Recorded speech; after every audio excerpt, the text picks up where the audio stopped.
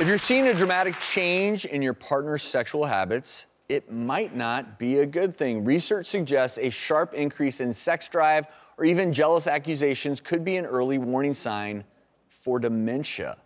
Research indicates hypersexuality, which is an excessive preoccupation with sexual fantasies, urges, or behaviors. It may be one of the earliest signs of something known as frontotemporal dementia, FTD for short. In some cases, maybe even Alzheimer's. And we wanted to talk about this because people always associate dementia with just losing your memory, cognitive decline. But sometimes behaviors may be the first thing to change. And in, in the case of FTD, you would never think hypersexuality could be a symptom of early dementia. But in this I case, need it to know is. What's excessive preoccupation? You're fine. Yours is healthy, healthy, Dr. Ordon. yeah. Here, like, But frontal temporal dementia is very different because people are looking for those signs of is their memory declining? Well, that's not really what happens in frontal temporal dementia.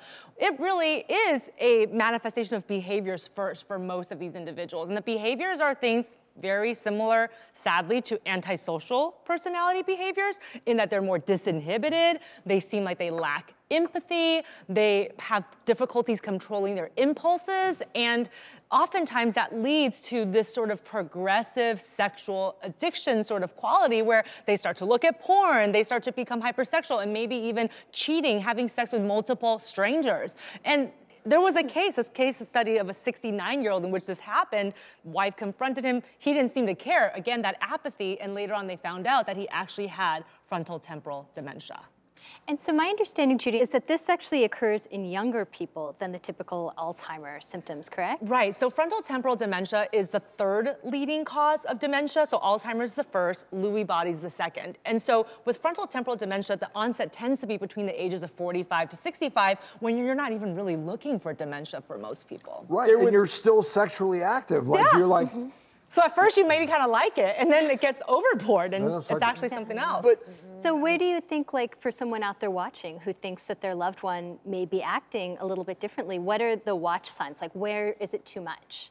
So I think a lot of times what you find is that communication with that person becomes more difficult because a lot of people with frontal temporal dementia will have language deficits. So in Alzheimer's, the first thing that you see is memory deficits. In frontal temporal dementia, if they're going to have any cognitive issues, it's going to be language first. So that's another additional thing to look But for. it's also, when we think of hypersexuality, we may be thinking of our traditional pornographic images, but, but think about it from the Mm-hmm. perspective of inappropriate hypersexuality. It may be that your loved one just starts pleasuring themselves and you- you're at a dinner party Yes. and they start pleasuring themselves. Or- it, it or- makes it's So so, really inappropriate inappropriate. and groping shocking. people randomly. right? Mm-hmm. Yeah, absolutely. And, and then that should be the red flag, which is very different than, well, my husband has slept around with 10 different women and he, he tells me it's because he has frontotemporal Oh my gosh, dementia. can That you is that imagine? is some Can you imagine? People do that. Well, I oh. heard on the doctors that, yeah. that I just That's honey, I'm I so have. sorry. I'm I, not a I- cheater, right? We're talking about men having this. Women can get this too. Absolutely. You're right. I'm Absolutely. so sorry. I know, This we're is an like saying, equal oh, the guy gets opportunity crazy. Dementia.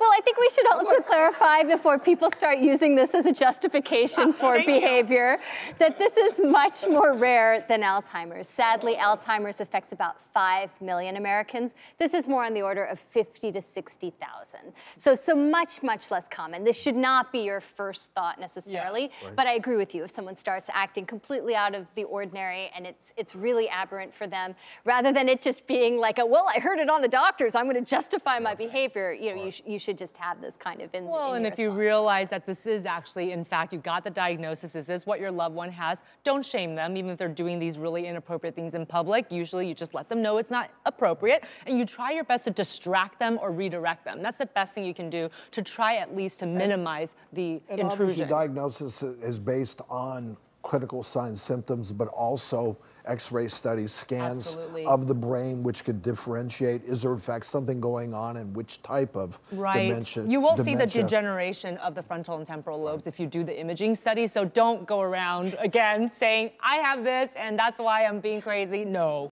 We're going to have a list of some of the symptoms to look out for versus Alzheimer's disease on our website, thedoctorstv.com.